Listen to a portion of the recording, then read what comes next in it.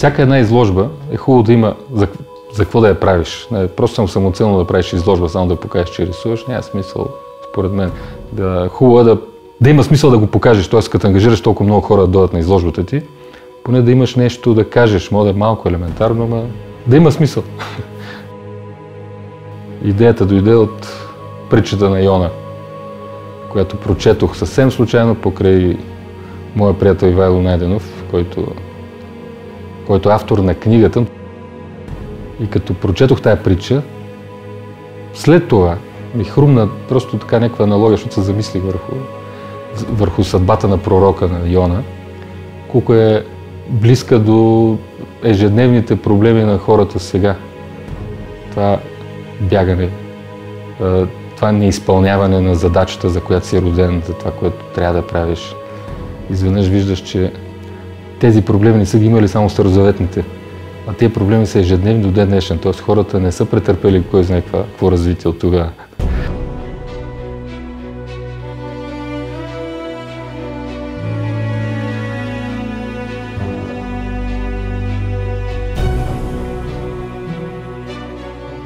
Не знам зрителите ли са запознати с притчата за Йона, но той получава с две думи задача от Бог, че трябва да предупреди жителите на Ниневия, че живеят в грях.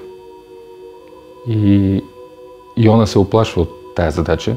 Вместо да я изпълни, тръгва да бяга. Качва се на един кораб, скрива се в трума, след което кораба го застига буря, изпратена от Бог, заради това, че той бяга.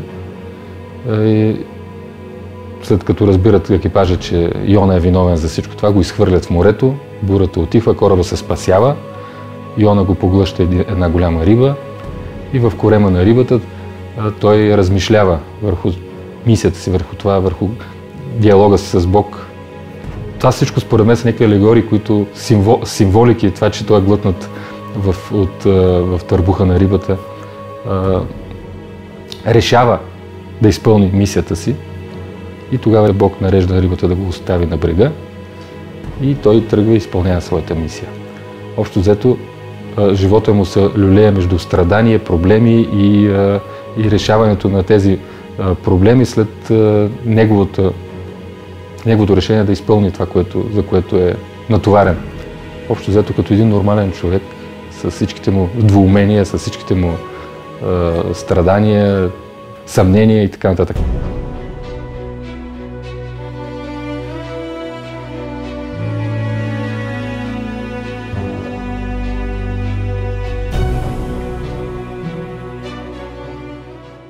Над 20 години се занимавам с пророческа литература, библейска. И за 20 години не дръзнах да си представя как би изглеждал един пророк. Толкова бяха далечни за мен, на моменти толкова неразбрани или толкова възвишени. Стефан прочете една книга и нарисува пет. Кратката си творческа изповед за тази изложба поделя, че всеки от нас има дадено му от Бога мисия – от чието изпълнение зависи личният му живот. Бягството от мисията е бягство от Бога, а бягството от Бога е отдалечаване от любовта, от хармонията. Земна пръст, небесна синева, Божие дихание, творчески акт. Бог ти звая нас, човеците. Земна пръст, платно, сини петна небе и провокация.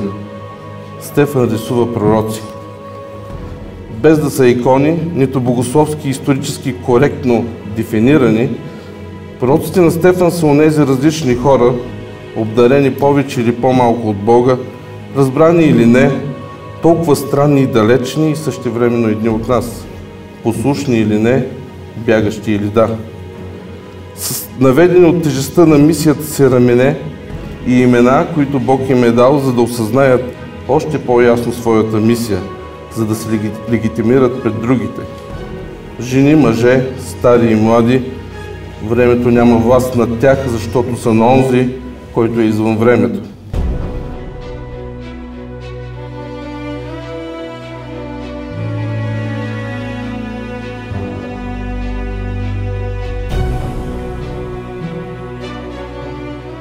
Осъзнатата съдба на пророка е много тежка, защото Никъде не сте виждали пророк весел. Всички са тъжни, защото това е голяма тежест да си пророк. те са натоварени от една задача, те са едни медиатори, едни посредници между Бог и хората и те знаят, че винаги ще страдат от това нещо. Защото какво се получава Йона след като предупреждава а, гражданите на Ниневия, че ще живеят в грях и след три дена града ще бъде унищожен, а, те му повярват. И, и решават да се покаят, да се поправят, взимат всичко това, което той казва, като пророк на сериозно и в крайна сметка Бог помилва Ниневия, което е следващото голямо страдание на Йона, защото той изведнъж излиза лъже пророк, той е казал, че след три дена ще, града ще бъде унищожен, заради това, че живеят грешно, а Бог ги помилва, защото те взимат адекватни... И това е неговата голяма дилема и страдание, защото той знае от самото начало, че накрая а, ще бъде, той ще бъде потърпеш, защото на времето лъжи пророците са ги убивали с камъни. И нали, това е много сбито разказано и в, схематично, но това е едно страдание, една, едни, едни съмнения, които ги има всеки един човек на този свят, с това, което по някакъв начин е дошъл тук да, да направи, да, да изпълни някаква мисия. Тя не е, а, мисията не е еднозначна. Тя не завършва с три, триумфално повечето случаи.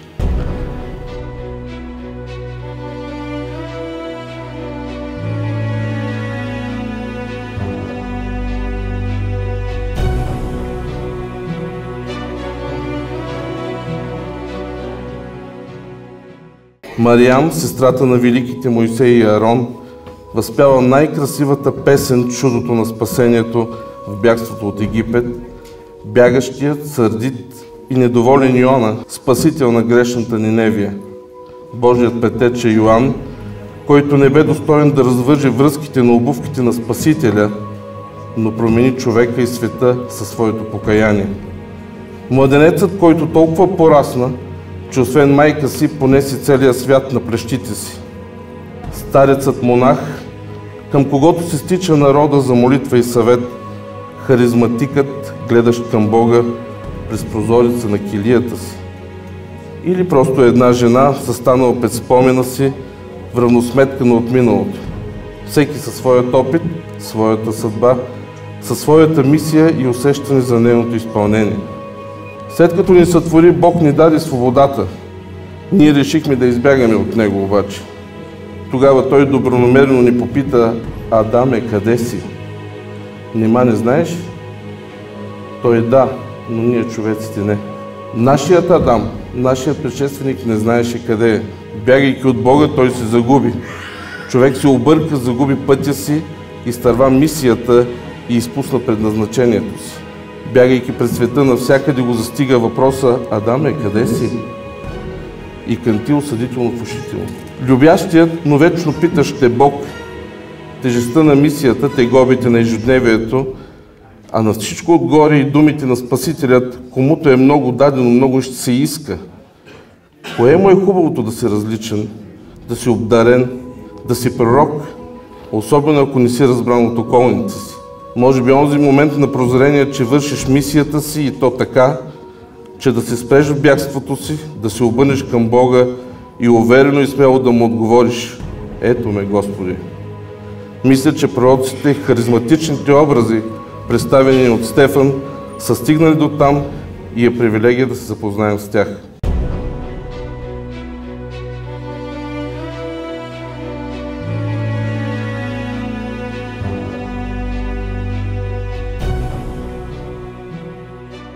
в ежедневието всеки един човек върши някаква мисия. Не говоря за толкова възвишени неща, но то е някакво зрънце, брънка в общо развитие на човечеството, което по някакъв начин всеки трябва да допренесе, по някакъв начин за духовното израстване, ако щеш, на хората.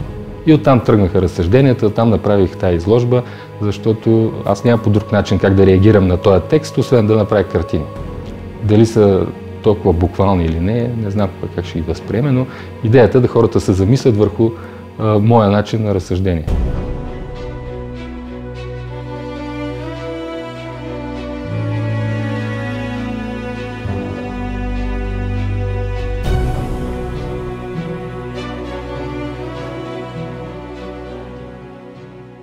Изложбата, докато я направя като изложба, може би им трябваше една година да я направя, когато реших, че началото беше само като нещо, което си го мислех, че, че е хубаво да го направя. И в един момент споделяне с приятели на тая тема, разговори с други, като видях, че повечето хора реагират положително и се ентусизират от това, аз реших да го, да го завърша като някакъв проект и да стане на изложба. Така че самото правене физически на изложбата ми костваше около година, но проектът в главата ми е от по-дълго време.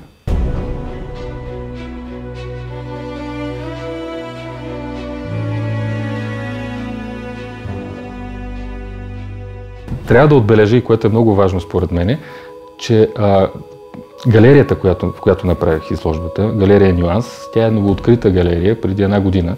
Когато собствениците на галерията, които управляват Лили Владимирова и Емо Чушев, дойдоха в ателието да решиме каква изложба, какви неща ще представя, кога ще бъде, аз им предложих много неща. В смисъл, можех да направя и друга изложба. Но те веднага, просто без е, коментар, казаха, че искат тази изложба да се направи при тях. Тоест, това ме амбицира още повече да я довърша и по-скоро, защото видях колко се ентусизираха и ми даде някакъв тласък. Тоест, получих много добра подкрепа от тях, защото те са въпреки че комерциална галерия, т.е. търговска галерия, просто решиха да представят тази изложба, която не е в 100% комерциална като изложба. Тоест от тях получих много голяма подкрепа. Това се дължи на това, че са колеги художници погледнаха и от друга гледна точка на нещата.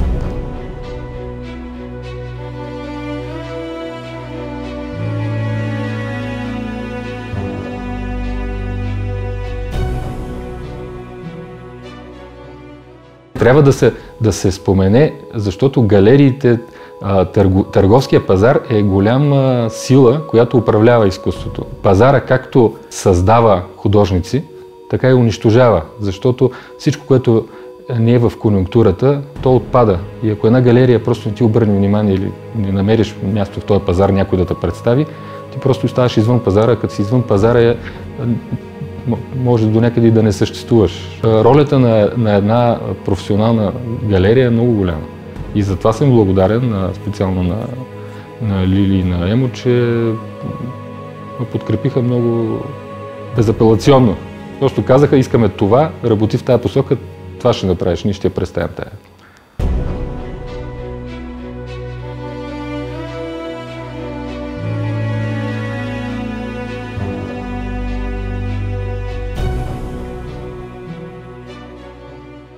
Има много, много различни канали на разпространение. Аз вече в един момент не знам как са, как са стигнали поканите до всички, но при нас изпратих на всички мои приятели. Галерията има много добър менеджмент в това отношение, в смисъл кани много голяма аудитория и като по някакъв начин предварително заинтригуваш публиката, идват хора.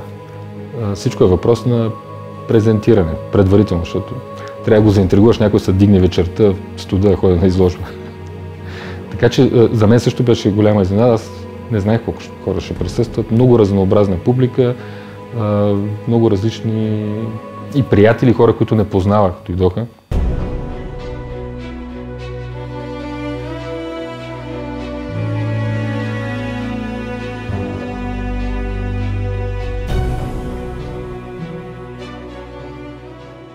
Нивото на изкуство са, реално се формира от Тоест това, което е в публичното пространство, не говоря какво правят колегите, но това, което се показва е плод на медиите и на галериите, т.е. На, на пазара. Пазара определя долу-горе какво, какво ще се прави, защото много хора, примерно, голямо изкушението ти да се нагласиш към пазара, за да, за да влезеш някаква конъюнктура, а от друга гледна точка много малко галерии рискуват да покажат нещо, което не е така комерциално. Затова така по някакъв начин ми се ще да изявя ролята на специално на галерия Нюанс, като галерия, която се управлява от хора, които са, първо, че са колеги, художници, имат отношение не, не само строго а, търговски и комерциално, а и естетически.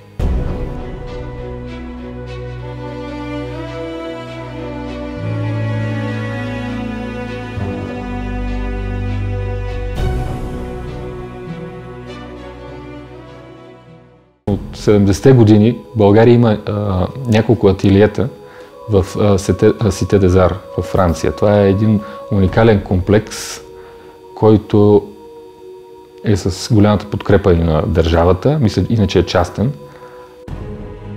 в Франция, в който събират художници от цял свят. Ама абсолютно цял свят. Няма държава, аз докато бях там, откъде ли нямаше хора. Просто всички континенти. Има около над 200 ателиета. Не казвам точната бройка, защото не я знам. Но вътре постоянно прибивават хора от 2, до, от 2 месеца до една година. Според времето, с което всяка държава си определила специализациите. Води се специализация. Тези ателиета, две от ателиетата са към Съюза на художниците и едното от, от ателиетата е към третото е към Академията. И всяка година има конкурс с Съюза на художниците, в който се избират 10 души. Това са общо взето 10 смени по 2 месеца, в, т.е. в две ателиета. И това не е тая традиция, успях Съюза на художниците да я запази и да продължава. Всяка година има конкурс, се избира този конкурс с жури, много голямо жури, с гласуване тайно, се избират 10 души и според броя на гласовете всеки има време, така, правото да си избере коя смяна, кое, по кое време иска да, да бъде там. Та, това беше начина да, да, да присъствам. Това се води творческа специализация в Париж. Много абстрактно ми се струваше в началото. Даже се чуих какво ще два месеца в Париж, обаче се оказа, че два месеца нищо да седиш в Париж. Толкова бързо мина времето, толкова неща има да се видят. Това е просто един мегаполис на културни събития, музей. Град, който наистина културата е направена, така стигна до някакво ниво на бизнес, който няма никъде другаде. И, комерциално и некомерциално има толкова музей, толкова събития, толкова неща, които могат да се видят, че просто не мога да се опише. Всеки ден, абсолютно всеки ден ние бяхме поне два музея разглеждахме и до последния ден мисля, че изтървахме много работа, които можахме да видим. Примерно не съм се качвал на Афелата кула. Тоест всичките тези туристически обекти въобще съм ги игнорирал. Ходихме само по музей и въпреки това времето не ни стигна.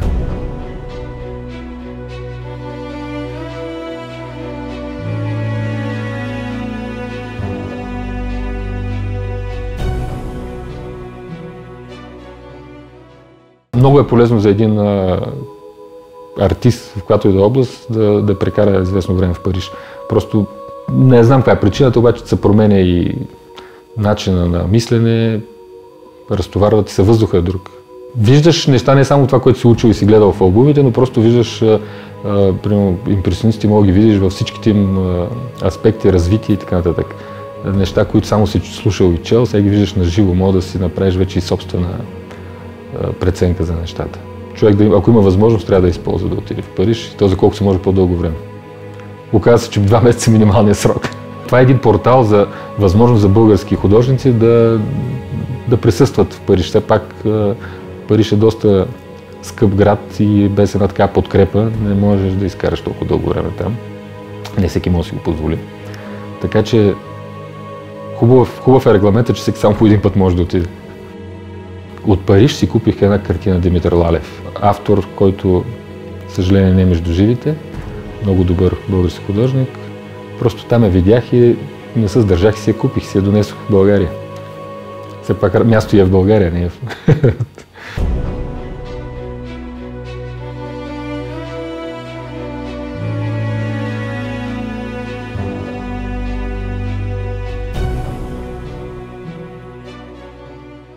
Участвах в есения салон, докато бях в Париж, като нещата просто съвпаднаха случайно, че докато аз присъствах там, се проведи есения салон, който е най-стария салон, е най-престижният в Париж, който е основан началото на миналия век.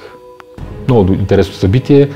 Случва се по времето на ФИАК, това е големия панир на изкуствата. Общото времето, което аз бях септември, октомври и ноември, част от ноември, беше най-активният период от към наситен от към събития, изложби, панаири на изкуствата. Много неща може. Просто може да се ушашаеш от информация. И така, това беше в личен план, смисъл, това мое участие беше важно за мене.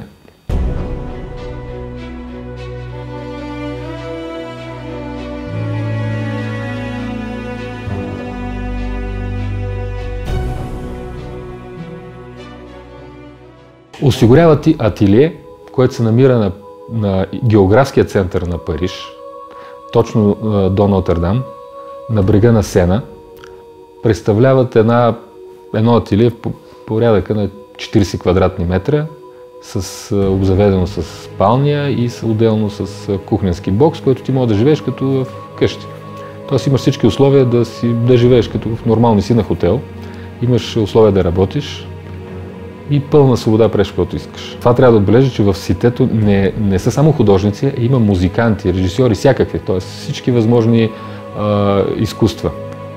А, певци, уникално е. Срещаш се с хора от всякакви възрасти, всякакви националности. Става един такъв много интересен интернационален микс. Всяка вечер събираме, пием вино, приказваме. Всяка, почти всяка вечер някъде се прави отворено студио. Някой кани в неговото студио и показва какво е направил, прожектира филми или свири. Уникално. Просто това нещо го няма в България. Атмосферата, която се създава, те пренася, може би, в така, миналия век. Града на изкуствата, Сите Дезар, той е, той е буквално квартал. Цялото това е населено само с артисти. Артисти в широкия смисъл на думата. Музиканти, художници, всякакви хора. И е нещо уникално. Контактуваш с много хора и виждаш кой какво прави, какво мисли, как, в каква посока се развива. Независимо дали ти харесва или не, ти просто виждаш къде се позиционираш ти спрямо другите.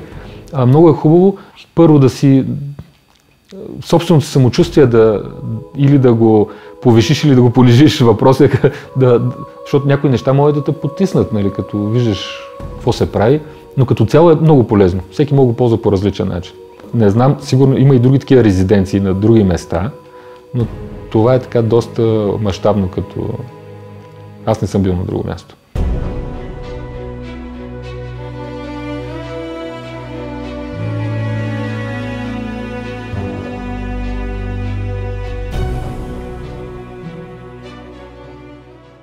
времето, за което българите седят там, е най-малко. В смисъл, той има пък друго положително нещо, че повече хора могат да отидат. В, примерно, другите държави, които аз се запознах там, от 6 месеца до 12 месеца седят. Има хора, които там просто са станали вече като французи.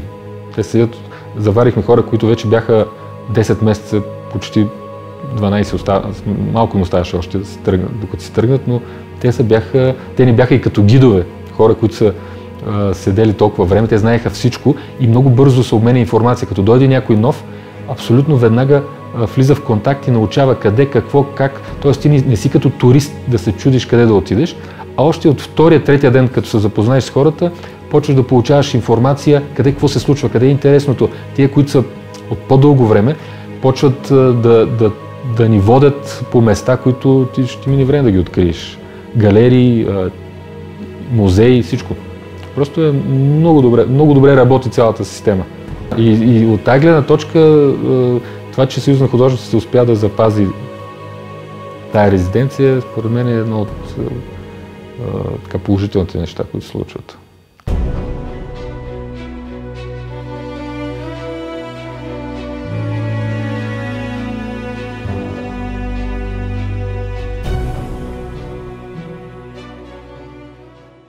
Аз отидох с пълната идея, че няма да, да рисувам, обаче всеки случай си взехме, с Аглика си взехме по, една, по един акварел и едно топче с хартия акварелна. И работихме акварели.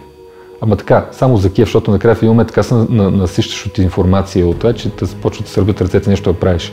Защото два месеца нали, да имаш нещо да драскаш да правиш и мога по-нататък да направя една изложба с акварели от Париж и, и някои други неща.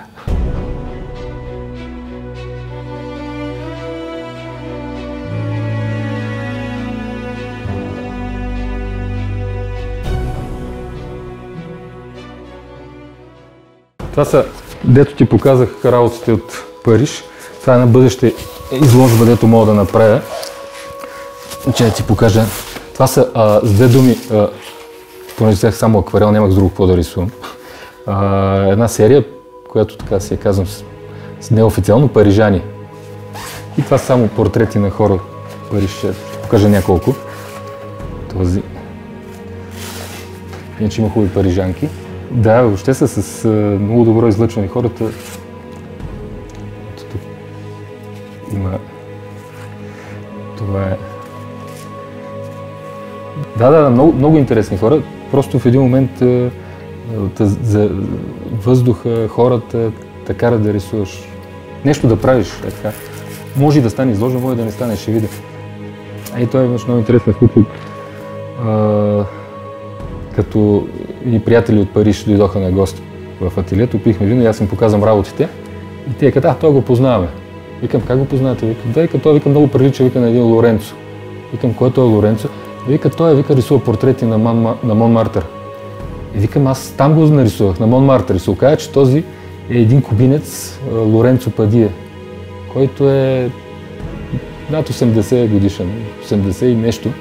И е от, може би единственият останал от времето на Пикасо, на Брак, на, от това поколение художници, когато Мон Мартер е било наистина средище на, на художници. И продължава да си рисува там. И така стана една закачка, даже му изпратиха, снимаха го и му го изпратиха портрета.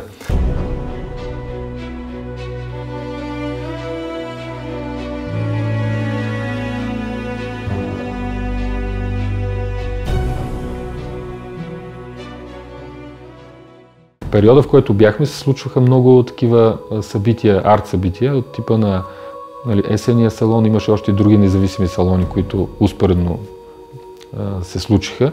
Но основното събитие беше ФИАК. Това е един от големите паниери на изкуствата, на, на комерциалните галерии. Там участват само галерии, търговски галерии. И може би след Арт Базел е най-голямото такова събитие в Европа. И там виждаш всичко, което в момента е на върха на, на, на пазара. Значи това е чисто търгов, т.е. това е панир. Представят галерии, които работят с определени автори. И виждаш всичко, което в момента е в, на мода, което е модерно, автори, неща, които са така и доста високо платени. Друг поглед към изкуството. Така че това за мен беше много интересно. А някои неща се чуди, що се продават, други просто много е много е противоречиво, но е, но е интересно да го видиш, просто информация. Макар, че не мога да дам еднозначна а, отговор за този панер, дали това, което видях е хубаво, всичко. Но имаше интересни неща определено и си заслужава да се види.